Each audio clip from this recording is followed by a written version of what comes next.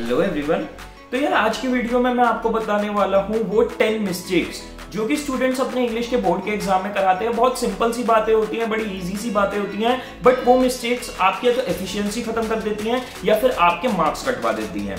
तो इस वीडियो में वो हम 10 इंपॉर्टेंट बातें देखेंगे। तो चलो यार वीडियो को स्टार्ट करते हैं।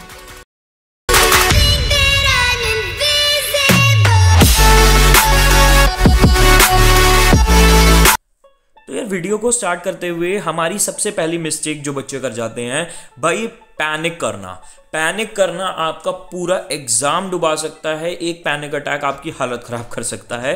तो भाई देखो, सबसे पहली बात, पैनिक कब करते हैं बच्चे? जब किसी एक क्वेश्चन में, एक आंसर में बहुत ज़्यादा एक्सेसिव टाइम लग जाए, तब बच्चे पैनिक कर जाते हैं। अगर आपको एक आंसर में एक्सेसिव टाइम लग रहा है तो अपने दिल को तुरंत तसली दो कि अरे यार, टेंशन मत ले, मैं अभी शायद थोड़ा टाइम ले रहा हूँ इस आंसर में, पर आगे के आंसर्स में मैं जल्दी कर लूँगा या फिर आगे के जो आने वाले आंसर्स हैं, वो मेरे स्ट्रॉन्ग एरियाज़ है तो मैं वहाँ पे जल्दी परफॉर्म करके अपने जो है टोटल टाइम वो रिड्यूस कर दूँगा या अपना पूरा टाइम जो है वो वहाँ से कंपेंसेट कर लूँगा। और अगर मानो किसी आंसर में आपको बहुत ज़्यादा टाइम लग रहा है, आपका नहीं दिमाग चल पा रहा तो ये भी एक गलती है कि आप एक आंसर के पीछे पड़ जाओ। आपको क्या करना है, आपको उस आंसर के लिए ब्लैंक स्पेस लीव करना है, अगले आंसर पे मूव ऑन कर जाओ। एक बार ही सारा पेपर हो जाए तो जो आंसर नहीं सॉल्व हो रहा था, उस पर बाद पे आ जाओ। तो अटकना नहीं है किसी आंसर पे। और कभी कभार हमारे अकाउंट्स जैसे सब्जेक्ट मैथ्स जैसे सब्जेक्ट में हम बहुत बुरी तरह पैनिक में आ जाते हैं जब हमसे एक आंसर या दो तीन आंसर हमसे सॉल्व ना हो रहे हों।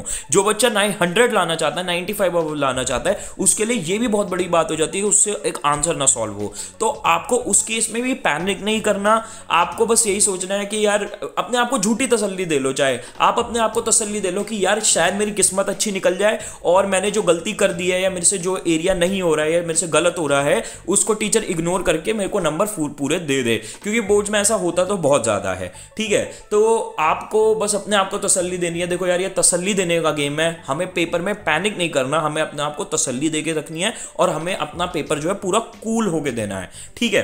बट अगर आपको बिल्कुल एग्ज़ाम के बीच में बहुत ज़्यादा मत्था खराब हो जाए, बहुत ज़्यादा दिमाग खराब हो जाए, आपका एग्ज़ाम सॉल्व ना हो रहा और आपका एकदम एकदम ब्लैंक आउट हो जाओ तो उस केस में भाई बड़ा सिंपल सॉल्यूशन है। दो से तीन मिनट बिल्कुल पूरा ब्रेक ले लेना, ठीक है?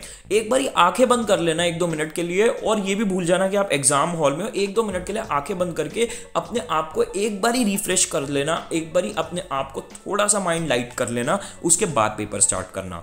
तो पैनिक हमें नहीं करना है, और करना है तो हमें थोड़ा सा एक दो मिनट का रेस्ट लेना है। उसके बाद दूसरी mistake picking lines from package from passage in summary writing देखो, जब हमारी नोट मेकिंग की बात होती है, ठीक है? नोट मेकिंग की हमारी जब भी बात होती है और हमें नोट्स लिखने के बाद जब हम समरी लिखते हैं, ठीक है? तो समरी हमें हमेशा कहाँ से लिखनी होती है? मैंने अपनी नोट मेकिंग वाली वीडियो में बताया था समरी हमेशा हमें लिखनी होती है। जो हमने नोट्स बनाए हैं उन नोट्स के हमारे, हमें अपने मेन पॉइंट्स और सब पॉइंट्स को कंबाइन करके समरी लिखनी होती है। अगर आपको यह प्रोसीजर नहीं पता तो आप मेरी नोट मेकिंग की वीडियो देख सकते हो बट आपको किसी भी केस में अपनी समरी में अनसीन पैसेज में दोबारा जाके अपनी समरी की लाइंस नहीं लिखनी है आपको अपने नोट से ही लिखनी है।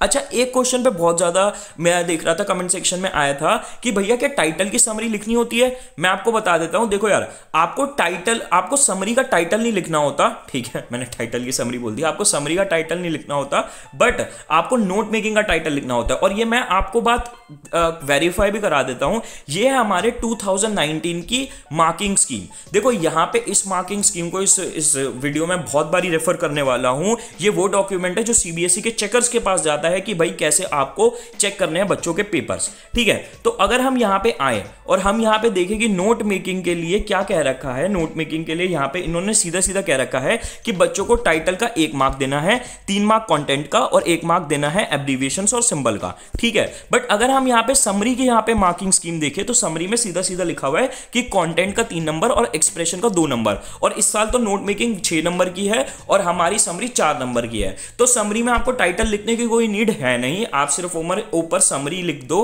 कैपिटल्स में अंडरलाइन करके और फिर समरी लिखना चालू कर दो। और अगर आप टाइटल लिख भी दोगे तो भी आपको कोई ऐसा बेनिफिट नहीं मिलना और नहीं लिखोगे तो भी आपके मार्क्स नहीं कटने हैं ठीक है? और ये चीज़ें मैं आपको क्लियर बोल दूँ यार अपने मन से या किसी की सुनी सुनाई बात नहीं बता रहा आपके आगे सीबीएसई के ऑफिशियल मार्किंग स्कीम से देख के बता रहा हूँ आपको दिख, मैंने दिखाई भी है आप डाउनलोड लिंक में नीचे प्रोवाइड भी कर दूँगा। हम इसको कई बार रेफर करेंगे अभी।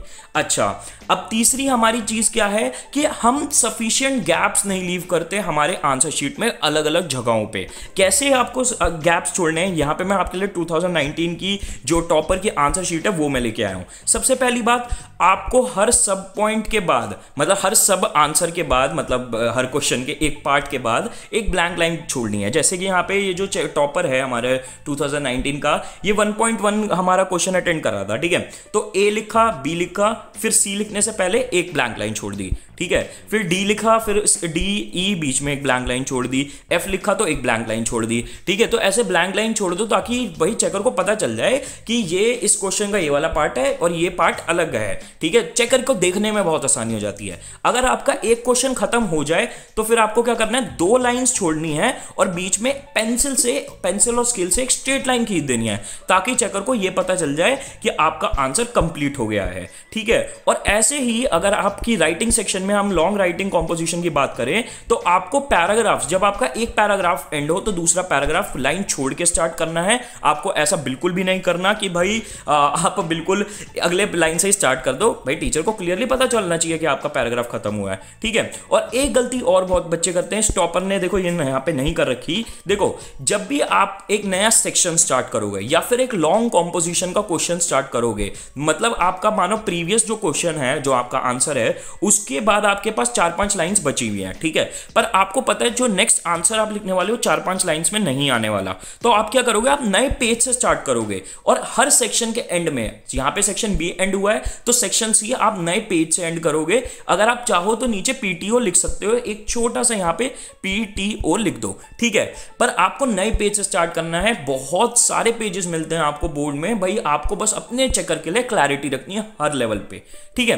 Fourth mistake commonly confuse words होते हैं भाई ये वाले, ठीक है? कॉमनली कंफ्यूज वर्ड्स हैं क्या क्या है? सबसे पहली बात लेटर राइटिंग में। आपको जब आप सैल्यूटेशन से पहले सब्जेक्ट लिखते हो तो आपको सब नहीं लिखना, आपको सब्जेक्ट लिखना है, पूरा सब्जेक्ट लिखना है शॉर्ट फॉर्म नहीं लिखनी है, और इसे अंडरलाइन करना है। और ये चीज़, आप पिछले साल के 2015 से 2019 के टॉपर्स की आंसर शीट एनालाइज करोगे, मैं आपको डाउनलोडिंग नीचे दे दूँगा, उनमें भी आप ये देखोगे कि सबने, सब किसी ने लिखा, सबने सब्जेक्ट लिखा हुआ है। दूसरी हमारी चीज़, हमारी प्रिंसिपल अगर आप, वैसे कुछ बच्चों के लिए बिल्कुल कंफ्यूजिंग नहीं है, पर कुछ के लिए बहुत कंफ्यूजिंग होते हैं वर्ड्स अगर आपके लिए नहीं है तो आप स्किप कर सकते हो।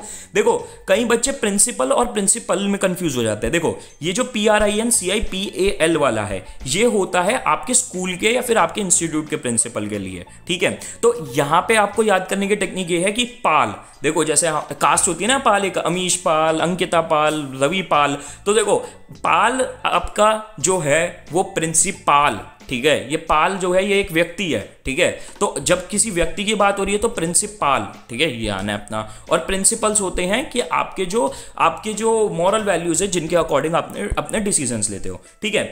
आपका देन और दैन ठीक है? टी एच ई एन और टी एच ए एन ठीक है? ये वाला देन जो होता है, वो होता है कंपेरिजन के लिए, और ये वाला देन जो होता है, ये होता है स्टोरी के लिए, कि एक चीज़ के बाद दूसरी चीज़ क्या हो रही है, ये वाला देन बताता है, और जब हम कोई दो चीज़ों को कंपेयर करते हैं तो ये वाला देन बताता है, ठीक है?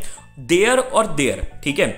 ये वाला T H E R E वाला देयर हमारा होता है पॉइंट करने के लिए लोकेशन बताने के लिए, किसी चीज़ को पॉइंट करने के लिए, ठीक है? और ये वाला जो सेकंड वाला हमारा देयर है, ये किसी के पोजेशन के लिए होता है कि ये चीज़ उनकी है। This pencil is their property तो ये उनकी उनकी प्रॉपर्टी है, ठीक है?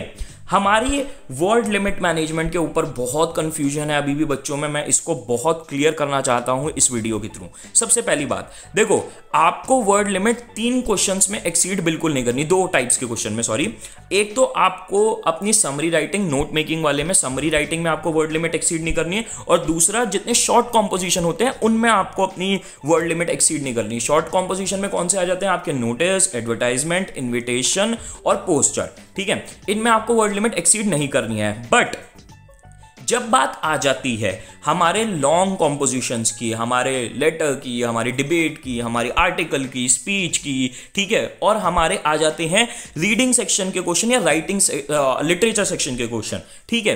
तो उस केस में क्या करना है, आपको जो अपर वर्ड लिमिट है, ठीक है? आपको अपर वर्ड लिमिट में आंसर लिखना है। जैसे अगर आपका डिबेट का क्वेश्चन है कि 200 वर्ड्स में आंसर लिखो तो आपको 200 वर्ड्स के अराउंड 200 से 250 वर्ड में आंसर लिखना है, ठीक है? अब बच्चे बहुत आर्ग्यू करते हैं कि भैया हमारे टीचर ने तो हमें कहा है कि वर्ड लिमिट एक्सीड करने के मार्क्स कटते हैं। तो उनके लिए ये रहा जवाब। ठीक है? ये रहा आपका जवाब। नाइनटीन पॉइंट यहाँ पे ये लिखा हुआ है कि वर्ड लिमिट एक्सीड क्लियरली लिखा हुआ है सीबीएसई ने चेकर्स को, कि वर्ड लिमिट एक्सीड करने के आपको नंबर नहीं काटने हैं बच्चों के।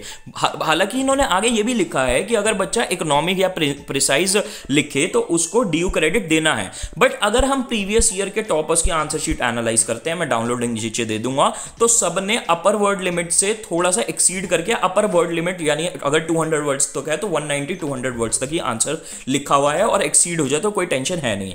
पर अगर आप वो स्टूडेंट हो जिसको पता है कि मैं ग्रामेटिकल या फिर स्पेलिंग मिस्टेक्स करता हूँ तो बिल्कुल बड़ा आंसर मत लिख के आना, क्योंकि बड़ा आंसर का मतलब ये है कि आपसे गलतियाँ होने के चांसेस ज़्यादा बढ़ जाएँगे तो उस केस में आपको बड़ा आंसर लिखने के और ज़्यादा नुकसान हो जाएँगे। और अगर आप स्लो राइटर हो, तब भी बड़ा आंसर मत लिख के आना, क्योंकि पता चला आप बड़ा आंसर लिख रहे हो, आप यहाँ पे एक दो नंबर पक्के करने के चक्कर में आप इतना टाइम वेस्ट कर दो कि आपके आगे जाके नंबर आपके क्वेश्चन ही छूट जाए। तो यहाँ पे, भाई, मैं हमेशा अपने वीडियोज़ में क्या कहता हूँ, अपना दिमाग फ्रिज में नहीं छोड़ के आना। अपना दिमाग अपने साथ लेके चलना है। सिनेरियो को समझना क्वेश्चन को समझना, अपनी सिचुएशन को समझना और उसके अकॉर्डिंगली जो करना हो, वो करना।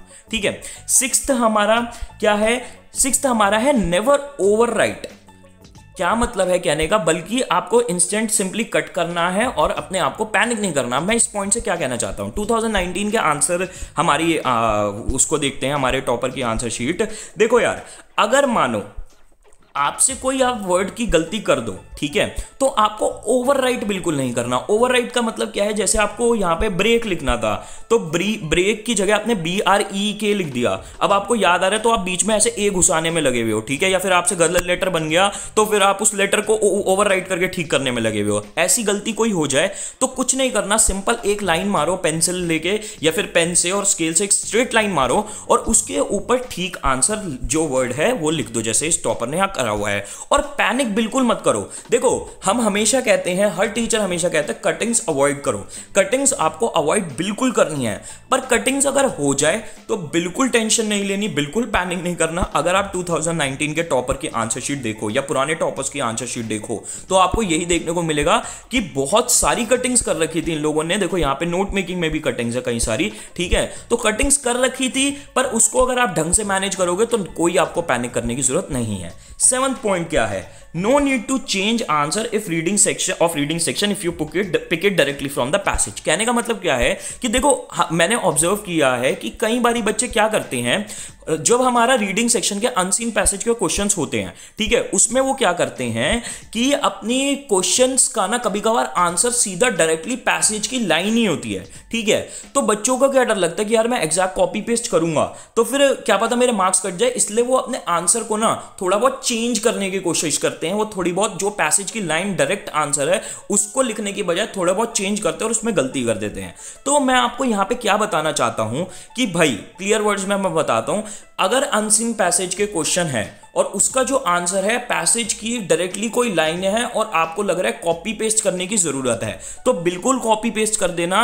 अगेन मार्किंग स्कीम में देखो, यहाँ पे आपकी अनसीन पैसेज में क्या लिखा हुआ है सीबीएसई e वालों ने अपने चेकर्स के लिए। No marks should be deducted for mistake in usage and grammar spelling और वर्ड लिमिट ठीक है? Full marks may be awarded if a student has been able to identify core idea अच्छा अब आगे if a student literally lifts a portion of given passage as an answer to a question no marks to be deducted for it for this as long as it is relevant तो यहाँ पे बहुत clearly लिखा हुआ है कि भाई, अगर बच्चे ने बिल्कुल पैसेज से लाइन लिफ्ट करके डाल दी है, ठीक है, और अगर उसने, क्या कहते हैं, उसका आंसर ठीक है तो उसके कोई मार्क्स कटने नहीं चाहिए, उसको मार्क्स मिलने चाहिए, ठीक है। बस आपको क्या करना है कि यार देखो, ऐसा नहीं है कि आपके क्वेश्चन का आंसर आप लिटरली वो लाइन सिर्फ़ डाल के आंसर खत्म कर दो, ठीक है?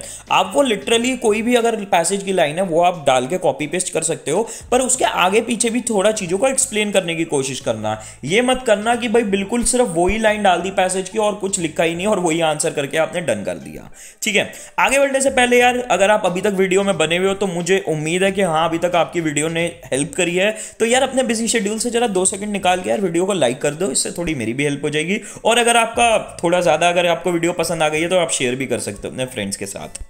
अब हमारा एट ये बहुत ज़्यादा ज़रूरी है। Carefully read all the instruction specifically in writing section देखो, आपको सारे इंस्ट्रक्शन पढ़ने के लिए बहुत टाइम मिलता है, ठीक है? तो आपको स्टार्टिंग में जो टाइम मिल रहा है, आपको अपने इंस्ट्रक्शन जो आपकी आंसर शी बुक पे लिखे होंगे, बहुत सारे बुक लिखे होते हैं, आपके क्वेश्चन पेपर पे भी लिखे होते हैं, वो इंस्ट्रक्शन आपको सारे ढंग से पढ़ लेना, चाहे आपको कितने रिपीटेटिव लगे, चाहे हर पेपर के लिए रिपीटेटिव लगे बट आपको सब पढ़ने हैं, मैं पढ़ता था। क्योंकि कभी कभार हम एक्सपेक्ट करते कि यार यार, वही तो चीज़ है, पर वो चेंज हो जाती है। और स्पेशली राइटिंग सेक्शन में तो जो जो हर क्वेश्चन को पूरी एक एक लाइन ढंग से पढ़ लेना। क्योंकि कभी बार हम जल्दी जल्दी में क्या गलती करते हैं? क्वेश्चन पूरा लिखा हुआ है, जैसे डिबेट का पूरा क्वेश्चन लिखा है, पूरा क्वेश्चन लिखा है, फिर एंडिंग में क्या लाइन लिखी होती है? Write a debate in 150 to 200 words और उसके बाद भी कुछ लाइंस लिखी होती है, पर हम जल्दी जल्दी में क्या करते हैं? राइट अ डिबेट पढ़ लेते हैं, उसके आगे की लाइन पढ़ते नहीं है, और फिर आंसर लिखने बैठ जाते हैं। पर उसके आगे की लाइन में क्या पता नाम दे रखा हो क्योंकि मैंने आ, आपको पुरानी वीडियोस में बताया था अगर क्वेश्चन में नाम दे रखा है राइटिंग सेक्शन के अगर आपने वो नाम यूज़ करने के बजाय कोई और नाम यूज़ किया तो आपके नंबर कट जाएँगे ठीक है? तो ऐसी गलतियाँ हो जाती हैं तो अपना भाई क्वेश्चन पूरा ढंग से पढ़ना हर क्वेश्चन को टाइम देके पढ़ना, बच्चे बहुत गलती क्वेश्चन करते हैं ऐसी क्वेश्चंस में, आप बिलीव नहीं करोगे।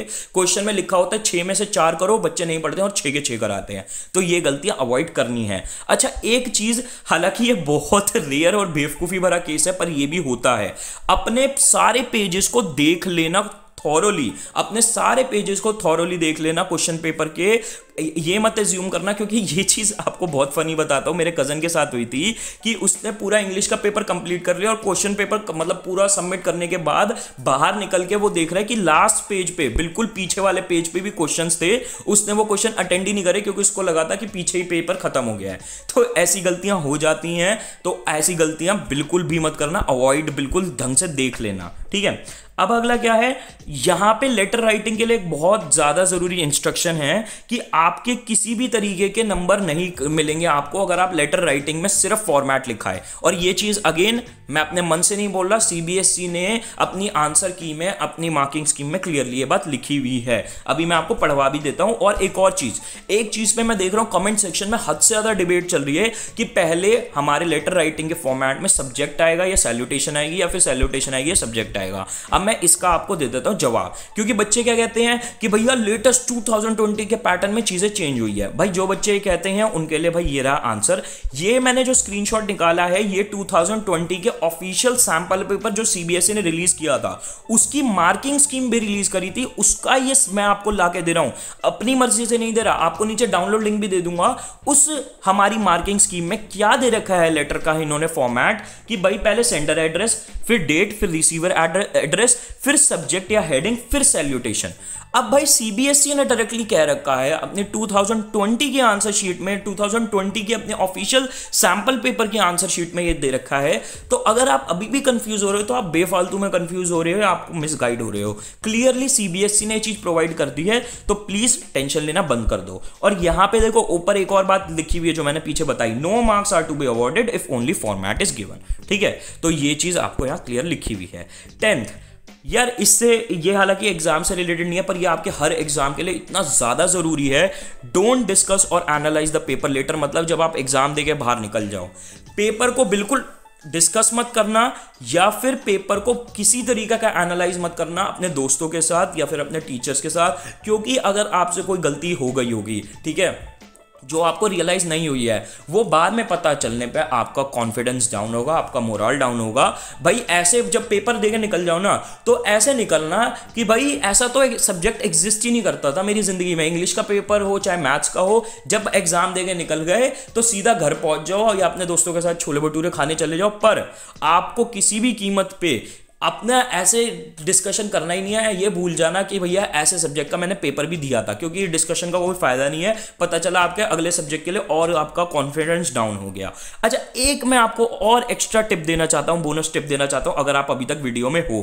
भाई, आप लोगों के लिए ये चीज़ मैं बहुत अच्छा टिप दे रहा हूँ कि आप लोग अपना बोर्ड एग्ज़ाम खत्म होते ही, देखो हमें क्या लगता है, हमें मस्ती करनी है। पर भाई, बोर्ड एग्ज़ाम खत्म होने में मस्ती नहीं करनी। बोर्ड एग्ज़ाम खत्म होने के बाद तो आपके एक्चुअल तैयारी एक्चुअल प्रिपरेशन आपकी कड़े, कड़ी परीक्षा का टाइम चालू हुआ है। बोर्ड एग्ज़ाम के बाद देखो ट्वेल्थ करने के बाद हर बच्चे को कॉलेज जाना होता है, ठीक है? तो अगर आपको कॉलेज जाना है तो बोर्ड खत्म करते ही कॉलेज के एंट्रेंसेस की प्रिपरेशन स्टार्ट कर देना। ठीक है? अगर आप उस एंट्रेंस की प्रिपरेशन में डिले करोगे तो आपके बोर्ड के यार, अगर आपके मानो 80 85 90 आ रहे हैं तो फिर यार फ़ायदा नहीं है जब तक आपको इंडिया को कोई अच्छा कॉलेज ना मिले एडमिशन के लिए। तो भाई, अपनी प्रिपरेशन बोर्ड खत्म होते ही चालू कर देना बिना किसी डिले के लिए। और मैं आपको एक चीज़ बता देता हूँ, जो बच्चे एंट्रेंस एग्ज़ाम देने वाले हैं डी यू जैट आईपीएम जितने भी मैनेजमेंट एग्ज़ाम्स हैं नासी मुंजी सिम्बाइसिस क्राइस्ट आईपी यूनिवर्सिटी या और कोई एंट्रेंस एग्ज़ाम हमारा ऑनलाइन क्रैश कोर्स अभी अवेलेबल है सीट्स उसमें हम आपको दे रहे हैं वीडियो लेक्चर सारे टॉपिक्स के ऊपर जो आपके एंट्रेंस एग्ज़ाम आ रहे हैं में आने हैं, हम आपको देंगे बुक सेट आपकी पूरी प्रिपरेशन और प्रैक्टिस के लिए। हम आपको देंगे ऑनलाइन मॉक्स पोर्टल क्योंकि भाई एग्ज़ाम ऑनलाइन है तो हमारी प्रिपरेशन हमारी प्रैक्टिस ऑनलाइन भी होनी चाहिए। और साथ ही साथ अगर आपको कोई डाउट होता है, दिक्कत आती है तो उसके लिए आप मुझसे और फैकल्टी से डायरेक्ट टच में रहोगे। तो अगर आप अपनी सीट रिज़र्व करना चाहते हो तो भाई आप इस नंबर पर व्हाट्सएप ड्रॉप कर सकते हो। फ़ीस इस कोर्स की सिर्फ़ फिफ्टी फाइव हंड्रेड रुपीज़ है। तो best of luck guys and bye